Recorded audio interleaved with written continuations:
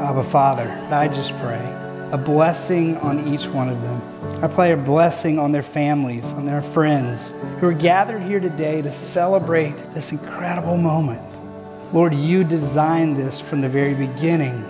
You created marriage. And so, Lord, we worship and celebrate you today and thank you for all that you've done to bring us to this moment.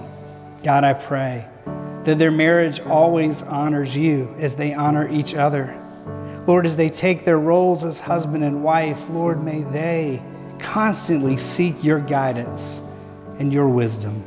Lord, surround them with friends and family that will lift them up, that will carry them when they feel like they are down and can't carry themselves. Lord, may they be reminded that you are for us. Thank you, God. In your holy and precious name we pray. Amen.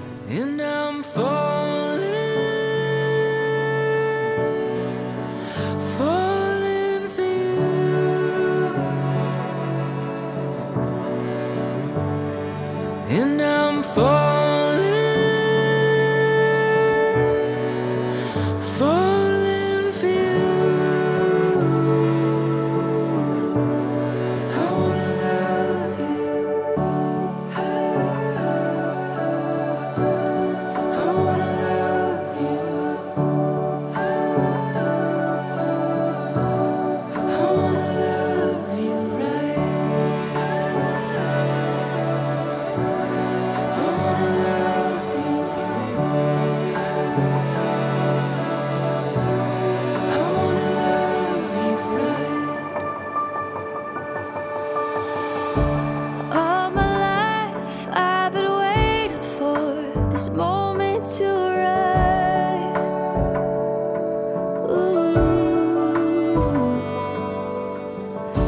Is this a dream? I can't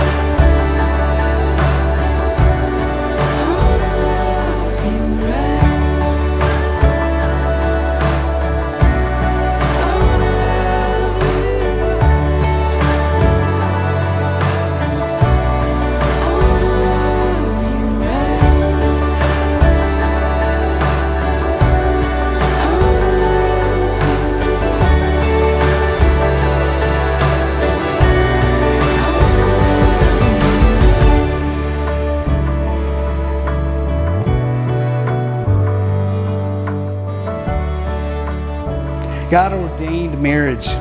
From the very beginning, this is his idea. Genesis 2:24 says, "Therefore a man shall leave his father and mother and hold fast to his wife; they shall become one flesh." God modeled this in giving us his son Jesus, who left his father in heaven to hold fast to his church on earth and become one flesh. Ladies and gentlemen, it is my incredible pleasure to introduce you to the first time as a married couple, Mr. and Miss Hutchinson. You may kiss your bride.